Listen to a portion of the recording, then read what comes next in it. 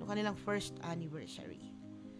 At ito na nga ang pinakaaantay ng lahat, ang pagbati ni Ivy Laksina kay Dina Wong.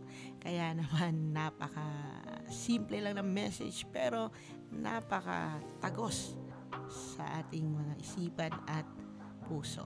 So ito na nga ang sabi ni Ivy Laksina sa kanya, Happiest birthday my lover. Kaluguran na ka.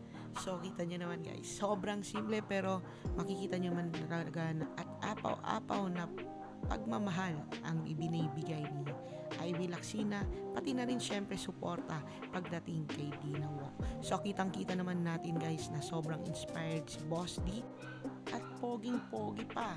So, napakaswerte. Napakaswerte ni Ivy Laksina at syempre napakaswerte rin ni Dina Wong na meron siyang nag-iisang Ivy Laksina na nagmamahal sa- sa kanya. So itong picture na to eh taken to nung